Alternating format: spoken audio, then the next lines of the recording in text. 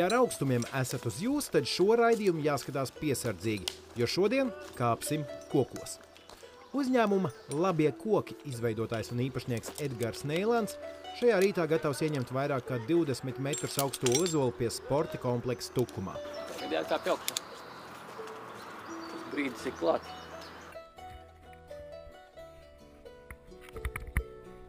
Kokā Edgars kāpj ne jau tīras izklaides pēc. Viņš zem labo koku karoga izveidojis vienu no vadošajām koku kopju arboristu komandām Baltijā, un šajā ozolā kāpj, lai to sadakterētu.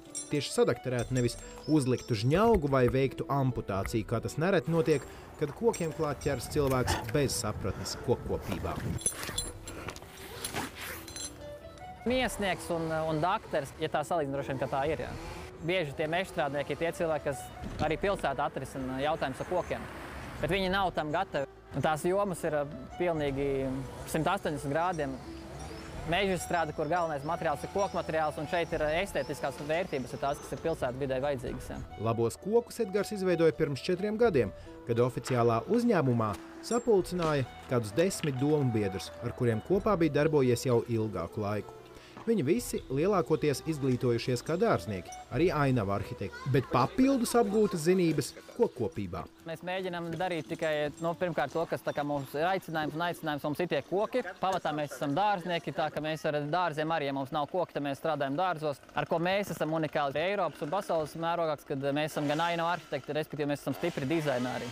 Ārtelpā vispār mēs projektējam dārzus, skvērus, parkus, Nu, tā kā mēs aizējām projām no tā koka, tad viņš izstāstās super veselīgs. Citreiz aiziet pie galīgi bēdīga koka, un tā kā ejam projām, viņš ir tā kā tāds bombzis aizvest uz uh, spā centru, safrizēts, sakopts, izārstēts. Un tas tas mūsu, mēs esam tas spā priekškokiem. Vismaz mums patīk tā domāt.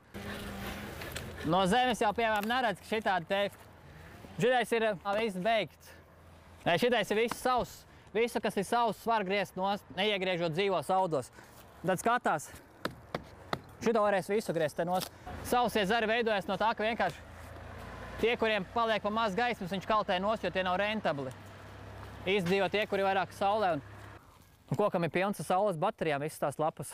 Un viņam viņas ir vienīgais uzdevums ir, kāpēc viņš to stumbru audzē, viņam ir jāizvieto tās saules baterijas pēc iespējas vairāk gaismā. Un viss pārējais jau nav svarīgi. Tas uh, karkas, kurš vairāk nespēja nodrošināt to gaismu, tas šīs zars nav pildījis savu funkciju pietiekami labi. Viņš Ozols no tā zara atsakās pāris gadus, varbūt pat 5, 10 gadus. Un tad ikmēr viņš viņam bija šī zaudējums taisa. Un šitais kopā svar kaut kādus kilogramus 300, varbūt tās 400. Ja viņš nokrīt no 15 metriem, tad jau viņš sver. Ja no 10 metriem būtu, tad būtu reiz simts. Baigais trieciens sanāk.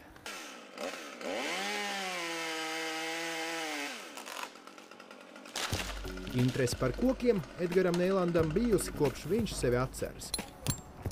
Es ar vecvecākiem uzaugu daudz laika pavadīju kopā vecotā un vecmāmu Siguldā, leznainā vietā ar daudz kokiem, parkiem. Un eh, vecais tēvs bija mežzinis. Siguldai, Inču kalnam, tanī pusē. Antons Bereidaks. Un uh, es ar viņu daudz laika pavadīju, viņš man par kokiem stāstīja. Droši vien tas tāds pirmais apzinīgais. Nākamais droši vien ir uh, mamma, kura bija dārzniece, jeb uh, ainu arhitekte dārzkopības tehnikumā skolotāja. Mēs esam es ar brāli un brālēniem un māsīts vienmēr arī tā kā štābus taisījuši vai tur ar draugiem štābus rakuši āpšu alās un kaut kur mežā dzīvojuši. Un tā pagāja man tie skolas gadi, ka pa mežiem arī vāzājos un dzīvojos. Un tā, kad es uh, sāku meklēt vietu pēc uh, pamatskolas, kur mācīties, tad es nonācu dārzkopības uh, skolā, kur uh, arī pa kokiem vai pa dārziem jau mācīju un stāstīju. Un tur bija smuks parks. Tāpēc vien bulduros ir vērts mācīties, ka tu pavadi četrus gadus jaukā vecumā, skaistā vidē, parkā. Tomēr ar Bulduru dārzkopības vidusskolu bijis par maz. Gadiem ilgi zinības apgūtas arī pie ārvalstu speciālistiem, tāpat praksē un pašmācības ceļā. Šobrīd tās jau tiek nodotas tālāk ērgļu arodskolā. Tā ir vienīgā vieta Latvijā, kur apgūstam kokopja arborista profesiju, un starp pasniedzējiem atrodami arī Edgara un viņa komandas spicāko speciālistu vārdi. Un Edgaram ir ko mācīt. Viņam vajag tikai īsu brīdi, lai saprastu, cik vesels vai traumēts ir katrs konkrētais koks. Visa darbība, ko mēs uz zemes veicam, ietekmēs kokus pēc tam. Tā kāds viņam ir uh, riktīgi sadalījis pa mizu. Tas koks ir bijis kādreiz vismaz 5 metrus lielāks. Nu, skatoties pēc apkārtējiem un kā viņš ir samazināts. Pat 5 metri zemāks, varbūt pat kaut kāda 8 metri, 10 metri zemāks viņš ir uztaisīts. Un tas ir uh, tīri celtniecības laikā. Nu, Ozols ir cīnītājs, viņš nepadodas. Nu, šis ir spilgts piemērs. Īstenībā viņam stipri bojāta sakņu sistēma, bet viņš tāpatās viņam bijusi enerģija atjaunot. Tas sistēma uznāk tā kā uz augšu, tur, kur ir tā augsne, kur ir gaiss, kur ir um, iespēja strādāt saknēm. Man ārpus izstāsta, ka tur viss ir kārtībā. Bet, kad pieiet paklausās, var dzirdēt skaņu, ka brauc ar roku. Tad šodien aiziet, šodien viss kārtībā. Te ir uh, Kambijs strādā, viņš aug abos virzienos. Bet šodien te ir uh, tikai mīza stāv klāt. Viņš jau tur neaug. Un to, to ka viņi te stāv klāt, piemēram, no šejienes līdz uh, šejienei viņš gandrīz vispār nav audzis. Ir uh, tas augšanas deficīts. Var redzēt, ka cilindrs būtu normāli veidojies tā, bet šeit ir tā kā iekritums. Un te stipri bojās tās sakņu sistēma. Un tas ir tie pēdējie 50 gadi. Nu, apmēram arī pēc arhitektūras var redzēt, pēc celtnes, ka tie ir kaut kādi 30, varbūt 50 gadi atpakaļ, kad tas ir celts. Un kopš tā laika šī visa puse kambijas ir atmiris un viņš stāv uz vietas, tas koks.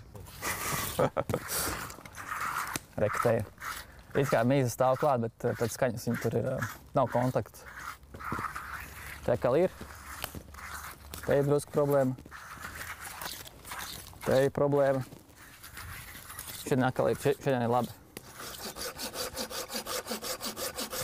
Mūsu komanda pārsvarā ir strādājusi Vācijā, ar citām komandām kopā ir uh, Čehijā strādāts un ir uh, kolēģi no Anglijas, ar kuriem ir runāts un strādāts. Tad ir uh, nu, tuvākajā Lietuva, Igaunija tur tā kā nav, bet Zviedrija, Dānija, tās ir arī valsts, arī Norvēģija. Mēs esam labos kontaktos ar lielāko Norvēģijas uzņēmumu, draudzējamies. Tad, um, Zviedrijā, arboristijā. Nu, tā, tā man liekas, bet paši vairāk mēs esam strādājuši. Arī es katru gadu mēģinu vismaz pāris nedēļas eh, Vācijā pastrādāt. Pieredzējušākajos un uh, labākajos uzņēmumos. Un tad uh, ar tiem cilvēkiem viņi brauc pie mums, paņemam teorētiski parunājam vairāk par tām lietām. Un uh, strādāja tā kā praktiski samācās visus tos trikus par mēsliem, par to, kā griezt, kā ko. Un. Kopumā Latvijā ir baigi labie koki. Pēc, ka mēs esam mazi iedzīvotāji lielā teritorijā. Un Latvijā cilvēki kaut kā ciena kokus un īstenībā braukājot apkārt, to saprot, ka mēs esam tādi koku cilvēki esam. Lielākoties. Protams, ir izņēmumi un tā, bet sliktā ziņa ir tā, ka uh, bieži vien uh, gribot palīdzēt kokiem, mēs viņiem baigi pāri nodaram. Bet tas ir tā, arī man tā kā drusku saistīts ar to, ka mums ir tā mīlestība pret tiem kokiem. Un arī tā pilsētās un pašvaldībās, kur ir vairāk cilvēki, vairāk ceļu komunikācijas un tā tālāk, tur gan ir traks stāvoklis kokiem. Tur, jo vairāk cilvēku, jo trakāk tiem kokiem ir. Tam, ka latviešiem koki patiesi ir svarīgi, pierādījums rodams turpat ik viena cilvēka maciņā, smējot nosaka Edgars. Vienalga brauc vācieši vai holandieši vai dāņi, viņi, kad viņi ieraug mūsu naudu, viņi super pārsteigtais ne arboristi par to, ka mums ozols ir uh, uz naudas. Nu, parasti viņi tur uzliek sev tur karali, karalieni vai tur uh, super kaut kādu izgudrotāju. Mums ir koks uz piecīšu. Un tā ir, tā, tas nav, nu, labi, lasis tur monētas, un tā pirmā papīra nauda, pirmā cēlā nauda, un uz viņas ir tā, ir tā kas katram ir. Nu, vienalga, cik viņš bagāts, nabaks, piecīts ir tas, kas parasti trāpās. Un es arī super lepns, kad es dzīvoju tajā valstī, kur uz uh, pirmais svarīgākais ir uh, koks, ar ko mēs lepojamies. Tas ir tās lietas, ko mēs lepojamies. Nu, mums nav karalis, mums ir ozols. Pie tam izraudzīts pareizais koks, kas ir arī gana veselīgs. Man liekas, to koku mēs esam redzējuši, ka viņš gaujas malā kaut kur tur pie cēsim, kaut kur līkumiņa aug. Es nezinu, vai tas ir tas vai nav, bet nu, tāds viņš ir. Tur, kur vēja pūš, viņš ir zems. Viņam vainags kaut kad ir samazinājies, lūzis. Viņš jau kādreiz jaunībā bija augstāks. Bet, eh, tā kā ir lapās koks, tad viņš noslēp visas savas problēmas. Tas tā kā uzvilkt eh, pāri kroplam ķermenim, var uzvilkt smuku mēteli un neredz jau, ka tur ir kaut kādas kroplības. Tad eh, lapās koks arī vasarā viņš super var redzēt, ka viņš ir bezlabs stāvoklī, visas koku problēmas, kādas viņam ir skelets, kādas ir zaru savienojumi. Bet tā viņš ir, mūsu ozols ir superizturīgs koks. Gan savā zarojumā, kā viņš zarojās, gan sakņu sistēmā ozolu nevar izgāzt beigās.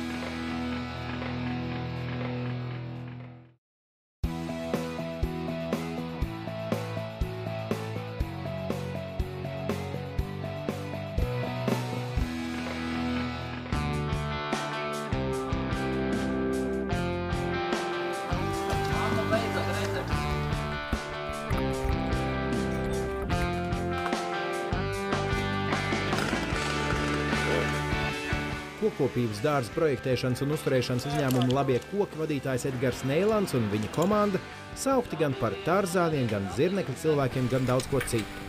Taču Edgars nenoliedz, ka ar kokiem viņam ir kāda neizskaidrojama un īpaša saikne. Viens no veidiem, kā noteikt, ka es esmu vesels, ir brīdis, kad es eju garām kokām, man gribās ieķerties zarā un parāpties uz augšu. Un tā kā man ir kaut kāda gripa vai vīrus, un nu, kā arī bišķi temperatūra, es eju garām. Un, Ir tā, ka negribās kāpt kokā, nu, kad jū, nejūties tā, lai kāptu, tad es esmu slims. Un izmēra temperatūra ir kaut kāda 3,8. Pagājušajā gadā, pārdodot viens savas darba stundas, lielākoties tieši koku kopšanā, labie koki panākuši aptuveni 160 tūkstošu latu lielu apgrozījumu. Šis rezultāts, kam piemīt stabila un gana strauja izaugsme, panākts vien četrus gadus pēc tam, kad Edgars nodibināja savu uzņēmumu.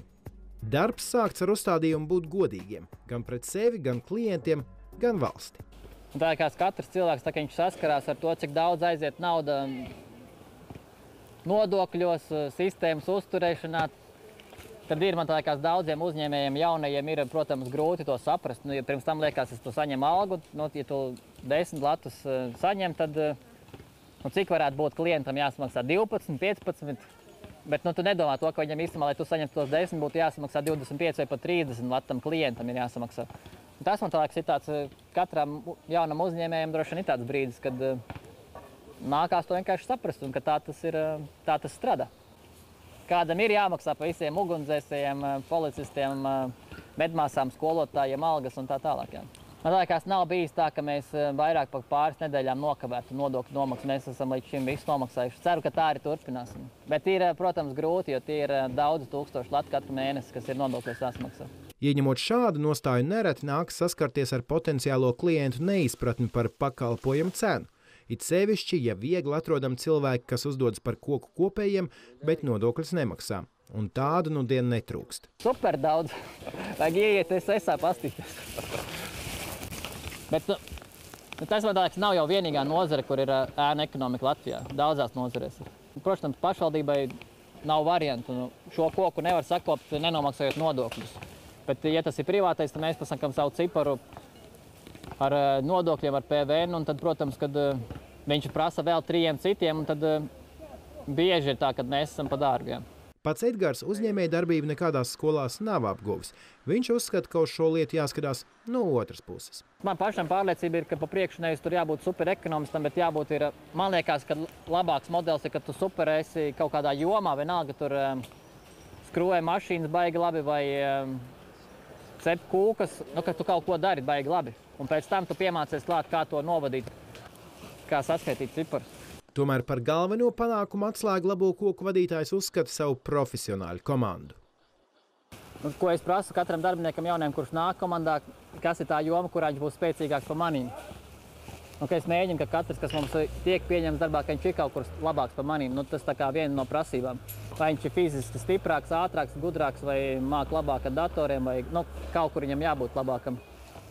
Bet kas ir nu, tā, tā viena īpašība, kas, ka mēs katrs esam bijuši spēcīgāks par pārējiem vienā no jomām. Nu, kas ir ko, ļoti saistīta ar dārziem, ainu arhitektūru un kokiem. Bet vēl rakstura īpašība man tā liekas, kad, ko es ceru, ka lielākajai daļai no mums ir, un es zinu, ka īstenībā arī ir lielākajai daļai no mums tā ir tā, ka mēs to darītu arī, ja par to nemaksātu. Nu, kad mums tas vienkārši patīk. Arī es, nu, es kāpu kokos, tā kā man bija brīvs laiks, lai nofotografētu visu no augšas, vai lai vienkārši pabūtu ar kokiem. Tas ir tāds bērni kāp kokos un tīņi kāp kokos, pēc tam jaunieši kāp kokos. Un, kāpēc lai onkuļi nevarētu kāpt kokos? Pārbaudīt potenciālo kolēģi Edgaram vislabāk patīk praksē. Piemēram, mēnesi intensīvi pastrādājot plecu pie pleca, var labi redzēt, ko jauniņais spēj profesionāli, cik izturīgs ir garīgi un vai iederēsies šajā līdzīgi domājošo kolektīvā. Mums bija pat kaut kādi 14, 15 cilvēki praksē, man liekas, pie mums šī pavasarī. Kāds ir uz divām nedēļām, kāds uz mēnesi, kāds uz pusgadu. Un, bet bez praktikantiem mēs esam starp 10 un 20. Bet es arī tā mēģinu neskaidrot, jo es kādreiz apsolīju, ka mēs vairāk par 10 baigi nebūsim. Pēc mēs tagad esam pāri 10, un tad sanāk, ka jau tā kā pēc cik mēs esam. Es domāju, ka mēs. Cik jāni mēs esam? 15 mēs taču nesam, vai ne? Bez praktikantiem. ja man bija uzstādījums, ka mēs nekad nebūsim lielāki, kā es varu uzaicināt pie saviem Ziemassvētkos ciemos no visu tā kā komandu. Pie galda apsēsties. Pagājušos Ziemassvētkos mēs tā kā apsēdāmies vēl. Bet šitajos, šitajos man liekas, ka būs baigi grūti apsēsties visiem pie galda. Nē, mums jau tā ir lielāka galda īstenībā beigstars. Man vakardien es biju aizbraucis apstīties, būs liels ozola galds mums. Nav variantu. Bet arī kaut kā vienkārši tādi forši cilvēki pie mums atnāk, un tāpēc mēs arī paplašināmies, man tā liekas. Atnāk praksē, viņš tāds baigi sakarīgais. Praksa beidzās, un tad tā kā viņi grib palikt, mums gribās, lai paliek, un tad mēs tā arī uzaugam, man tā liekas. Bet nu mērķis būt lielākiem vai kaut kā tā, tā noteikti nav. Tomēr paplašināšanās ir notikusi, un ne tikai pieaudzējot kokkopju skaitu. Čau! Vēl kāds ir? Labo koku nelielajā birojā Rīgas centrā sastopama ainava arhitektes jaunu dārzu radīšanas procesā. Ārā man bija puikas kolektīvs, tad man ir meiteņu kolektīvs. Tas tā balansam. Tā kā mums ir klases vakar, tad visiem ir ko dejot. Vienīgi mums baigi bieži nav. Meitenes ir kā tā mākslinieckā puse mūsu labajiem kokiem. Ja dārsts ir jāuzprojektē, un tad tas notiek tajā kaliekšanā. Kaut kas ar rokām nosaka, un tad pēc tam datorē. jā. Tā zīmēšana nav tā kā tāda baigta patstāvīgā. Tie, kas strādā birojā, arī meitenes, viņas daudz iet ārā. Tagad arī tā kāda nav, tāpēc ka viņi ir ārā, strādā ārā. Meitene ar ainu arhitektas izglītību, viņa arī aizsūtījām uz ērģiem, nu, kā zemāk tur izglītības, līmenis un tā, bet nu, viņa, viņai patīk tie koki. Un tā ainu arhi- ainu arhitektūra kā tāda, nu, tāds nerulē. Mana pārliecība. Tur pilnīgi noteikti jāiet ārā, jāstrādā, jāsaprot, kas, kas aug, kas neaug, kā aug, kurš ar ko labāk. Un, nu, ka vajag ārā strādāt. tāds diezgan elastīgs mm, strādāšanas veids, kāds mums ir. Un tas varbūt ir tas tāds mm, moderns birojs, es teiktu, diezgan mūsdienīgs. Neiespējami nepamanīt, ka labie koki pastāvīgi ir kaut kā jauna meklējumos. Tā Edgars rāda profesionāļu vidū augsti vērtēto apstādījumu veidotāju ceļvedi, tādu kā enciklopēdiju par Latvijas kokaudzētavās un dārzniecībās piedāvātajiem augiem, kā izdošanu šogad viņš pārņēmis. Viss, ko mēs darām, ir savstarpā saistīts. Obligāti. Tāpat Edgars neslēpj lepnumu par to, ka labie koki parku inventarizāciju veids pasaules līmenī. Grīziņkalns, tas ir Rīgas parks, un uh, arī te ir karte, kur tad ir. Uh, bet tas ir atkal super saistīts ar kokiem. Ir jāiet ārā, jātausta koki, jāskatās viņi un kādā stāvoklī tad ir viss parks. Grīziņkalns, un tāds viņš izskatās mūsu skatījumā. Sarkanie jau super labi, un violetie vienkārši vai nu jau diškoki vai potenciāli diškoki. Nu, violetie, piemēram, ja notiek rekonstrukcija, jāvelk tur lampiņām kabeļi, atkal jāliek flīzītes, bērnu laukumu, jānoliek suņu laukumu, tad uh, ainu arhitekts Ja tev ir šāds plāns, tev ir grāmata ar augiem, tie ir tie instrumenti, lai uztaisītu jau grīziņu kalnam labu projektu. Tad vajag labu projektētāju, un pēc tam vajag labus ierīkotājus, un tad vajag labus apsaimniekotājus, un tad, tad ir laba ārtelpa. Mēs esam arī tā liekas, nu, mums ir tāda zinumas, mēs braukājam pa tām ārzemēm, arī es katru gadu mēģinu pēdējos visus savus atvaļinājumus esmu pavadījis eh, vai nu Vācijā, kādā no uzņēmumiem praktizējoties, vai uh, strādājot ārzemēs. Nu, brīvlaikos atvaļinājumos. Tie, kas citiem ir atvaļinājumi. Tu saskaties tur brīnumus, un pēc tam bēd mājās un taisa kaut ko līdzīgu, vai mēģini pārspēt. Ar to man liekas, mēs esam pārspējuši. Arī, nu, tās kompānijas, ko es esmu redzējis, viņām ir eh, daudz vienkāršāk. jā, man liekas, ka šobrīd drīzāk mēs redzam, ka ir ļoti daudz jomas, kurās neviens neko nedara, un ka mēs viņās visās varam spiesties iekšā. Nu, tādā citā līmenī. Kā, kādreiz tas viss ir darīts, bet nu, tagad mēs jūtam, ka to var darīt daudz augstākā līmenī. Mēs esam pirmo Baltijā veikuši vispār Ziemeļā Eiropā vilkšanas testu kokam, kad uh, nevis pieņemt koks jāzāģē no to, viņš ir bīstams, bet izreikināt to. Vai viņš lūzīs, vai viņš gāzīsies ar saknēm un uh, inklinometrs pie saknēm ar uh, simto grādu, daļu no grāda, kurš mēra svārstības, un uh, uz stumbra kā lielistometrs, kurš mēra tūkstošo daļu no milimetra svārstības, tā kā viņam uzliek slodzi. To, tā ir zinātne, kur uh, super interesanti, un tā jomā arī varētu iet un to vien darīt. Edgars Celmlauža loma nebūtu nav sveša. Tā tieši viņam, piemēram, dzima ideja Pārdagavā pie Agenskalna ģimnāzijas izveidot augstāko dzīvžogu Baltijā, ja ne visā Eiropā. Te ir 51 liepa skolas teritorijā, kuras bija smagi kropļotas. eh, Kaut kādā 2005. gadā varētu būt, ka viņām visām bija galotnes nogrieztas, un visi lielie sānzari bija tikai stabi palikuši. Nu, tā kā ir gaismas stabi, tikai koki un bez vienas zara. Viņām visām bija norauts jumts, bija trupa iekšā, un viņas nevarēja laist vairāk kā lielus kokus. Tā bija kāds trīs gadus viņa attauga lēnām. Es braukāju garām uz savu fakultāti no darba uz mājām. Uz savu, ja. Un bija brīdis, kad es eh, vienkārši redzēju, ka tagad tie koki ir piemēroti tam, lai sāktu jaunu projektu, viņiem iedot otro iespēju viņiem. Uztaisīt smuki un uh, arī droši un uh, kokiem labi. Tas tas kompromiss, kas tagad ir pilotprojekts ar iepriekš kropļotiem kokiem, iedot viņiem jaunu dzīvi. Tāda dzīvžoga nav vairāk. Jā. Nu, es neesmu redzējis Latvijā, Baltijā, neesmu redzējis kaut kur uh, ģeometriskajos dārzos, Itālijā, no ciprasēm vai Francijā kaut kur varētu būt. Bet arī pārsvarā viņš ir no vienas puses kā siena mežam, viena mala nogriezta baraka dārzos. Nonākt līdz šādām nestandarta idejām Edgaram noteikti palīdzējušas papildus studijas Latvijas Universitātē, kur iegūts kultūras un mākslas vēstures skolotāja bakalaura grāts. Es varu vispār tie cilvēki, kas kombinē lietas, un tie var vairāk. Dārznieks es esmu un uh, pats biju nonācis pie secinājuma, ka, ja vēl apgūst mākslu, tad tas ir dārznieks, mākslinieks un tas sanāk dārzu mākslinieks. Un, uh, tas ceļš, nu, viņš attaisnojies, ja es esmu aizgājis savu ceļu. Drusīņ, Viņš atšķirās no tā masu produkta, kas ir pieejams, un tā ir vai bulduri, vai jēlgava, kur ir izmācīts painu arhitektu. Es esmu dārznieks, mākslinieks vairāk. Paņemot vienu to mazo fragmentiņu klāt, kas ir koki, dārzkopībā izceļot viņu sev, uzliekot pa 90% no, tavas, eh, no tava laika, par to vairāk interesējoties, mācoties, beigās sanāk, ka tu zini daudz vairāk nekā citi pa kokiem. Tad bija iespējas arī Eiropā pamācīties, un tagad jau es esmu skolotājs, un man no komandas puiši ir skolotāji, kas māca par kokiem. Un uh, mākslinieks, dārznieks no, nu, ar specializāciju kokos sanāk kokopus, arborists, ainu arhitekts, mākslinieks. Nu, tur var kaut kāda profesija sanākt, bet viņi ir nestandarti. Tāpēc man liekas, viņai vienmēr ir uh, savs uh, kā, pieprasījums. Jo ir nestandarta situācijas, kurām nestandarta profesija arī vajag. Ņemot vērā, cik bieži labo koku speciālisti dodas tādās kā viesizrādēs uz tuvākām un tālākām Eiropas zemēm, skaidrs, ka viņu pakalpojumus novērtē arī citur. To konstatējis Edgars nesen nodibināja arī uzņēmumu Norvēģijā, kur daļa labo koku meistaru, tā skaitā pats priekšnieks, strādā aptuveni 2-3 mēnešus gadā. Tikko zvanīja viens norvēģis, droši vien tur grib kaut ko, lai darām. Mūs jau tur arī pazīst. Ir jau tie daudzi darbi, ko mēs esam izdarījuši. Un, un tā kā slavi iet pa priekšu. Priekš viņiem mēs esam super kvalitatīvi dārznieki, priekš norvēģiem. Jā, man liekas, mēs esam tādā stadijā, ka mēs varētu nebraukt mājās. Mēs varētu visu laiku dzīvot ārzemēs, tur strādāt un uh, labi pelnīt. Un man liekas, jebkuram, kurš ir savs jomas speciālists Latvijā un dara savu darbu labi, viņam uh, nebūs problēmas dabūt darbu ārzemēs. Bet, neskatoties to, ļoti daudz strādā Latvijā, un es viņus saprotu, kāpēc viņi tā dara. Jo ne, gadu nodzīvojot vienā no pārtikušākajām valstīm Eiropā, pasaulē, Norvēģijā, respektīvi, mācījos vienu gadu, jau saproti, Nu, man kaut kā baigi paveicās, tik labi draugi un uh, arī tādi nopietni gadu gājumi cilvēki, ar kuriem kā ģimenes draugi mums ir. Un, ka ļoti labs kontakts un viss, bet uh, tu vienmēr saproti, ka uh, nu, kā, tur ir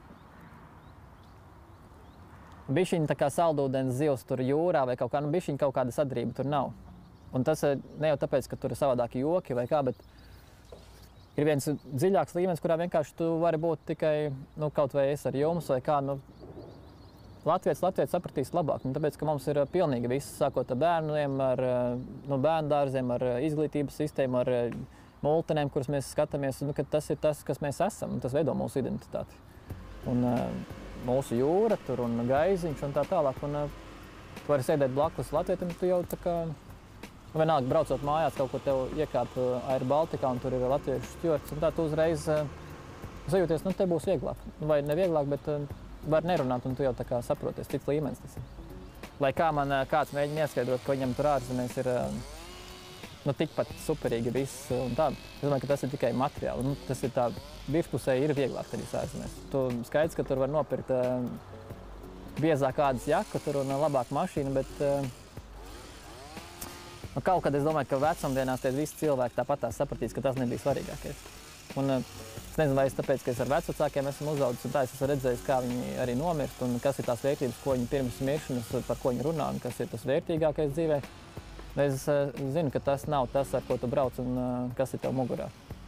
Tas ir tas, ar ko tu kopā nodzīvo un arī nomirsti. Ja?